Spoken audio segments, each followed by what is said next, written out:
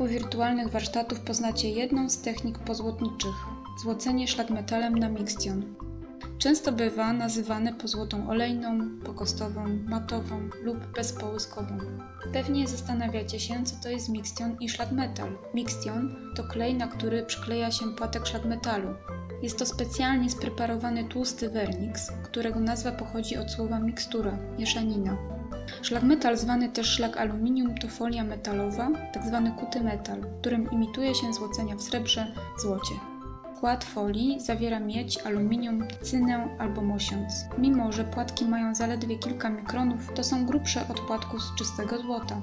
Wadą tego materiału jest podatność na działanie wilgoci, która może spowodować korozję, czernienie albo zielenienie się partii z pozłoty. Oczywiście istnieje technika pozłotnicza, która nie jest tak podatna na zmiany atmosferyczne. To złocenie złotem, zwane też złoceniem na pulment. Pulment to glinka, dzięki której można polerować płatek. Ta w kolorze czerwonym zwana jest polusem i nakładana jest tylko tam, gdzie przewiduje się polerowanie. W technice na mixtion nie stosuje się właśnie tej czerwonej, dlatego że powierzchnie złocone na mixtion nie mogą być polerowane i pozostają matowe. Więcej o samej technologii opowiem Wam w części warsztatowej, a teraz chciałabym Wam przybliżyć w dużym skrócie jej historię. Najstarsze wzmianki o stosowaniu oleju do pozłoty pochodzą z VI wieku naszej ery. Informacje na temat składu ówczesnego mikstionu możemy odnaleźć w rękopisie z Lubkio, a także w traktacie Czennino-Czenniniego. Złocenie na mikstionie wykorzystywane jest przez całe średniowiecze równolegle z techniką pozłoty na pulmencie. Pozłota olejna była używana w całej Europie w XIV wieku. Stosowano ją w malarstwie sztalugowym do dekoracji szat przedstawianych postaci, wypełniania tła, aureoli i tym podobnych. Przy pozłacaniu przestrzegano zasady nakładania zaprawy o tonacji ciepłej dla złota i zimnej dla srebra. Przykłady stosowania techniki pozłoty olejnej możemy znaleźć również w wielu gotyckich rzeźbach i reliefach niemal całej Europy. W XV wieku w malarstwie synieńskim osiągnęła swój punkt szczytowy. W Polsce dobrym przykładem tej techniki jest tryptyk Matki Boskiej Bolesnej w katedrze wawelskiej. Przypuszcza się, że to na nim został sportretowany król Władysław Jagiełło jako jeden z trzech króli. W baroku zwiększano efekty optyczne złota przez odpowiednie łączenie obu tych technik pozłotniczych, to znaczy połyskowej i matowej. Tym samym czasie pokrywano pozłotę olejną podbarwianymi laserunkami, m.in. dla imitowania starego złota. Do wieku XVIII pozłacanie figur stojących na wolnym powietrzu było z reguły wykonywane na mikstionie. Wiek XVIII przynosi wzbogacenie pozłoty olejnej różnymi metodami technologicznymi i technicznymi, to właśnie wtedy Latin opisuje sposoby złocenia na pulmencie, jak i pozłacania zwyczajnego, pokostowego na mikstionie. Technika złocenia mikstionowego, będąc techniką łatwiejszą i mniej pracochłonną od techniki pulmentowej, staje się od XIX wieku techniką w pozłotnictwie dominującą. Na popularność stosowania tej techniki jako względnie prostej wpływa też stopniowy zanik rzemiosła. W wyniku tego następuje zmniejszenie się znajomości starych technik pozłotniczych. Współcześnie wykorzystuje się w tej technice mikstion akrylowy. Zwiedzając wnętrza willi Caro, zapewne zauważycie, że jest bardzo dużo obiektów dekorowanych łatkiem szlagmetalu albo złota. Niegdyś takie zdobienia mebli i sztukaterii stolarki były przejawem luksusu i elegancji. Teraz ta technika powoli wraca do łask, bo jest efektowna i bardzo łatwa w wykonaniu, co zaraz Wam pokażę w części warsztatowej. Zapraszam Was do obejrzenia części praktycznej. Zanim rozpoczniemy zajęcia, postaram się Wam pokazać, co będzie nam potrzebne. To, co będziemy dekorować płatkami szlagmetalu. W moim przypadku są to dwa obrazki pokryte zaprawą kredowo-klejową z transferem na nitro. Kilka odlewów z gipsu, z czego jeden już wcześniej sobie pokryłam farbą. Potrzebny będzie nam klej. Te dwa pierwsze mikstiony, które Wam pokazuję, nie należą do moich ulubionych. Są przeznaczone do złocenia raczej większych powierzchni. Po ich nałożeniu trzeba odczekać kilka godzin, zanim nałoży się płatek. Zaletą jest ich to, że można na nich dłużej złocić. Ja preferuję mikstion akrylowy 15-minutowy. Po jego nałożeniu już po 15 minutach można nakładać płatek. Szelak. W miseczkach mam go w formie płatku. Ciekawostką jest fakt, że szelak jest pochodzenia zwierzęcego. Uzyskuje się go z wydzieliny owadów zwanych czerwcami, które występują na terenie Indii Tajlandii. Żywią się one sokiem z drzew, na których bytują. W wyniku przejedzenia umierają. Ich twarde skorupki są zbierane, by po długotrwałym procesie uzyskać oczyszczony szelak. Zanim go wykorzystamy, musi zostać rozpuszczony.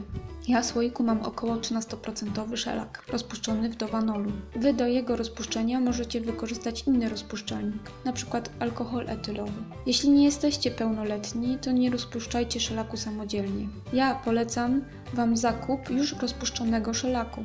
Można go zamówić w internetowych sklepach dla plastyków konserwatorów. Potrzebne będą Wam pędzle z drewnianymi uchwytami. Pamiętajcie, że pędzelki o sztucznym włosiu, plastikowym uchwycie rozpuszczą się Wam podczas oczyszczania ich z szelaku mikstionu. Najlepiej mieć ich kilka. Jeden służy do nakładania szelaku, inny do mikstionu, a ostatni do omiatania płatków. Nie wolno tym samym pędzlem nakładać szelaku, mikstionu, a już w szczególności omiatać nim odstających płatków. Potrzebne będą nam jeszcze gazety, nożyczki do cięcia płatków, słoiczek na mikstion.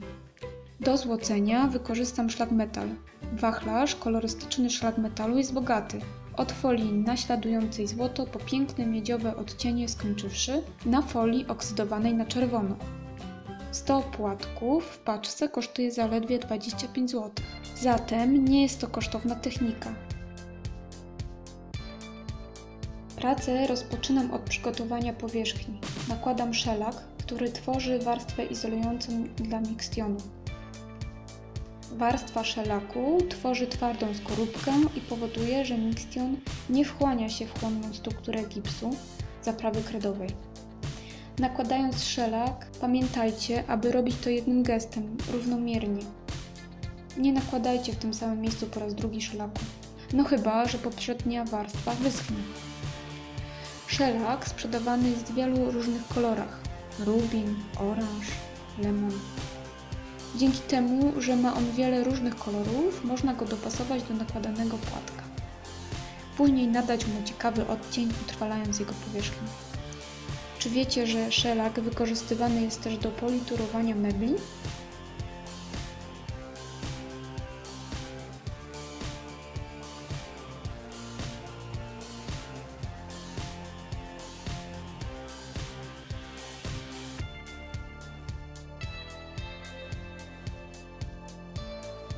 Teraz musimy odczekać około 5 minut, aby rozpuszczalnik odparował.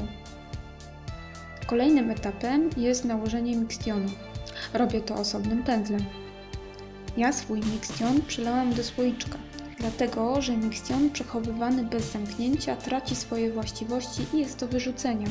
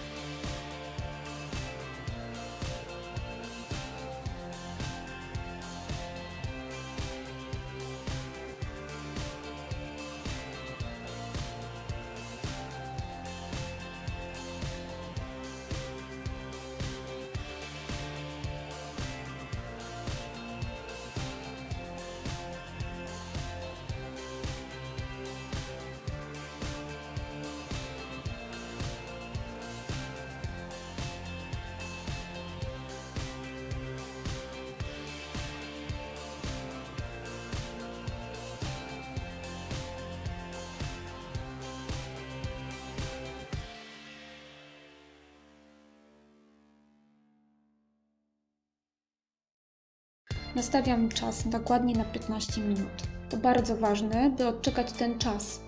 Jeśli za wcześnie nakleimy płatek, to on po prostu zatonie w kleju. Oczekując na to, aby miksjon równomiernie zasechł, przygotowuję sobie płatek szlag metalu. Używam do tego starej gazety.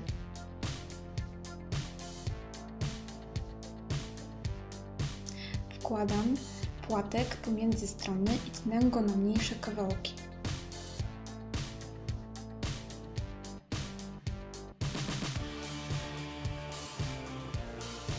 Dzięki temu będzie mi łatwiej nakładać płatek i ograniczamy stratę materiału.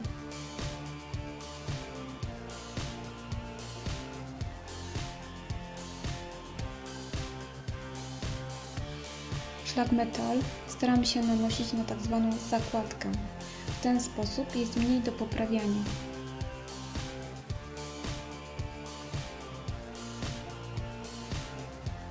Płatek przykleja się tylko tam, gdzie jest naniesiony mikstion.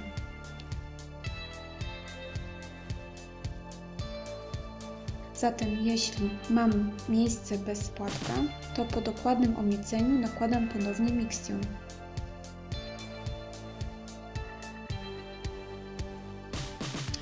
Tego problemu można uniknąć podbarwiając miksjon olejny farbą także o spoiwie olejnym.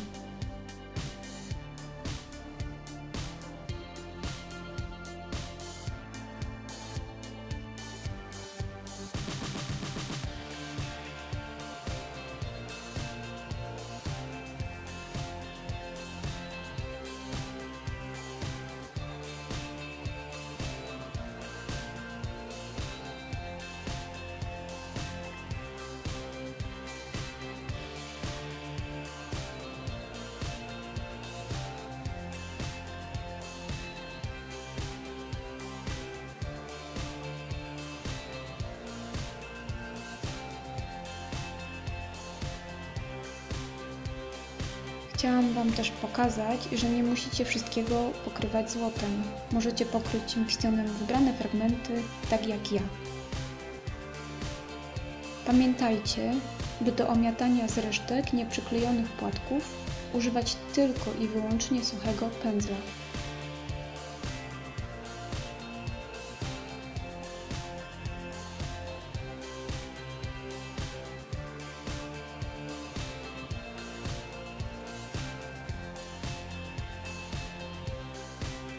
Dobrym patentem na wyrównanie pozłoty jest po paru godzinach wygładzenie powierzchni pozłoty miękkim pędzlem i powleczenie w tym samym miejscu 40% alkoholem, wódką.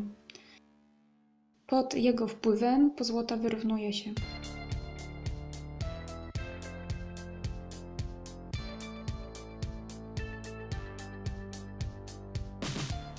A teraz pokażę Wam z bliska, co udało mi się wyzłocić.